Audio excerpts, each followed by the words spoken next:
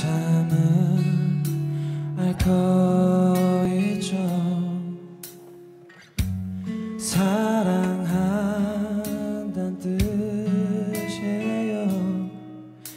이 사랑은 깨달은 순간이 제 인생의 제일 힘든 날이었죠. 피